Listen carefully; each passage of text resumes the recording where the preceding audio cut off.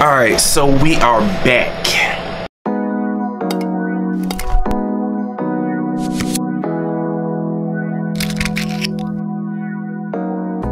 Alright, so in this part of the video, part two of the Creative Workflow 101, we're going to be creating a contact sheet, okay?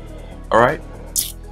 These are the terms for this. Uh, this is just an older term, contact sheet. Basically what you're going to be doing is taking the photos, compiling them into a PDF form or a web gallery, however you would like to do it, or just putting them all in one folder, sending them off to the client and letting them take a look at them, browse through them, whoever the top person is, if it's just one person, or if it's a company, it might be a team of people who, who are just sitting there looking and they're making their picks and they're just all, hmm, yeah, I like that one. Hmm, mark that one up. Oh, oh, scroll, go back, go back.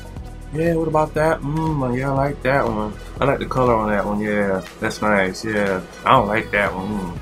Yeah, she, you know, I don't know why she put that on. Mm. That's how business is. You know, people gonna sit down, they're gonna look at the images, they're gonna pick what they want. Uh, I usually put at the bottom. Uh, let's jump into it. All right. After I put all my images in the folder, Let's go back to the same girl. It's K-I-S-H-A. Alright, go to silver look.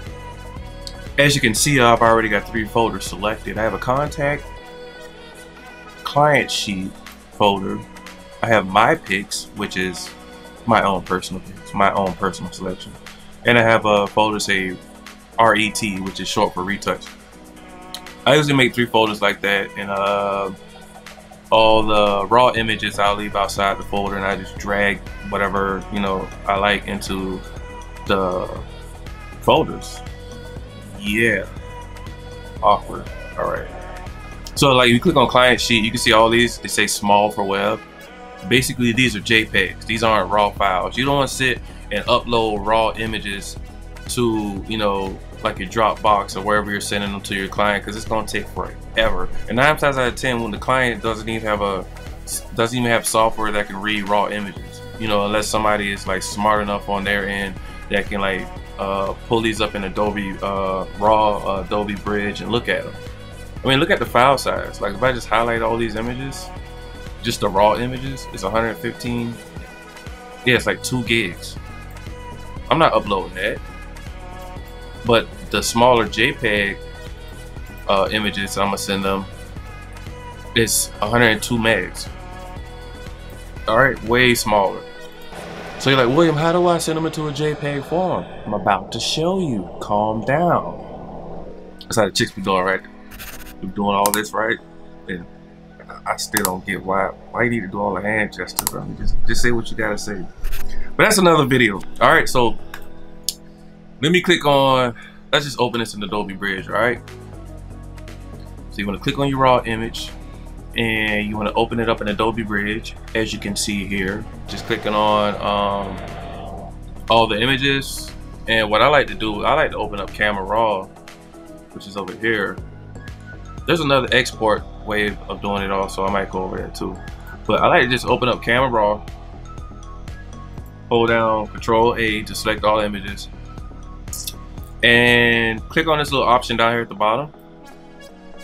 Uh, this nine times of ten this won't be clicked on, but um, as you can see the resolution out it's it's usually set at 300, but I'm gonna put it at 150 as it was set. You chop down the file size, uh, and I'm gonna reduce the megapixels to a smaller size so I can speed up my upload to my Dropbox, and it's not gonna lag. It's not gonna take forever. Uh, the images are still kind of high resolution. This I would say probably around, you know, a, a strong B, B plus. And they can look at the images and pick what they want and send it right back to you. All right, so I'm, I'm gonna click on resize. And now if it was at 100%, you can see that's at full resolution, 22 megapixels. I was shooting with an 18 megapixel camera. But uh, I'm gonna drop that down to like 50% to chop that in half, all right? And depending on your client like i say you can drop that lower you can you, you can see the resolution is dropping even more it's down to 3.5 but usually i'll keep it at 50 oh what's going on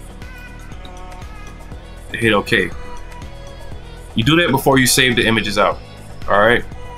Don't mess with none of this stuff over this. This is you, you get all of this when you get ready to retouch the photo. You don't worry about that right now. But when you click on save, all right, you wanna select the folder you want to save it in. I usually save it in the exact same folder that uh the exact same folder of where the image is at, which will be, you know, this folder right here. But what I would do is I would change the, the end name, all right? As you can see, the raw files, which we were just showing you earlier in Bridge, all these crazy AW now, blah, blah, blah, blah, blah, blah, blah. I would just change it to, you know, what you want it to be, all right? I might be talking fast, I'm sorry, but um, I hope you understand what I'm saying. But here are all the small images. What you want to do, you want to select all of them and, you know, bring them over to a Dropbox. As you can see, I already have this one labeled for the client and influence. And I have all these different folders for them to look through. Okay, you know, their flyers, their NES, the shoot we did in March, all the images I retouched. So what I would do, I would just go and create a new folder and I will I will label it uh, Keisha Silverlook. All right.